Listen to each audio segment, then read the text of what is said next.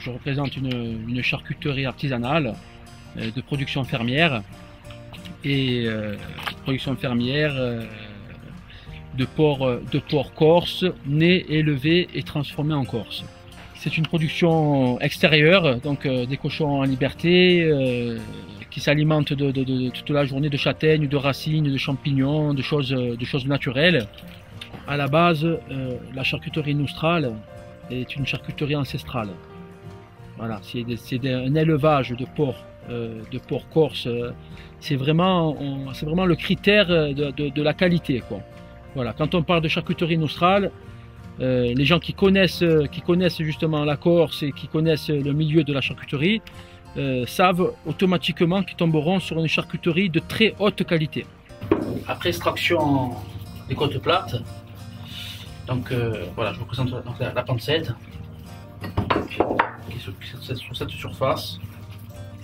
Voilà, vous avez le. Donc, sur un porc comme ça, ça c'est des porcs de, des porcs de 80-90 kg, c'est un petit. Hein. Donc on va sortir deux, deux beaux lonces, des lonces d'un kilo. Ça. Là vous attaquez la cope, ça va être une très belle cope. Et après, donc quand j'ai sorti la cope, je qu'une euh, partie de gras à découper et la surface de la pâte avant se détache automatiquement. Voilà, pâte avant pour le saucisson. Donc la fabrication de la charcuterie en Corse se fait euh, donc euh, si on veut respecter la tradition à la Sainte Lucie. Donc ça commence le 14. Voilà. Début de production décembre. Voilà. Donc tout dépend des endroits, tout dépend des villages, tout dépend leur façon de faire. Euh, Il y a des villages qui commencent, qui vont commencer au mois de novembre, des villages qui vont commencer, euh, voilà, au, plus tôt euh, fin novembre. Le commencement de la tumbera. Voilà.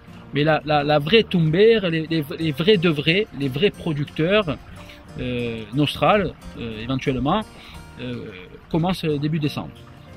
Euh, donc mes, mes, amis producteurs euh, sont Vanina Lucian, le fromage Ulisage à Volpage, voilà, qui est un fromage de chèvre, très goûteux. Euh, donc Cacipogi à Pevani. Chèvre et brebis. Euh, Jean d'eau Franck ou Saroling à Sarola Carcopine.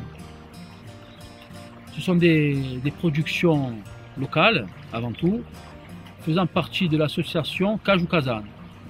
Donc, euh, euh, de, chèvres et de brebis, Corse, nées en Corse, de petites productions et de, et chartes de qualité. Donc l'huile d'olive est produite sur la route de Vico. C'est une huile d'olive euh, médaillée de bronze au Salon de l'agriculture, année 2013. Et d'autres médailles gagnées sur la France, dans d'autres concours.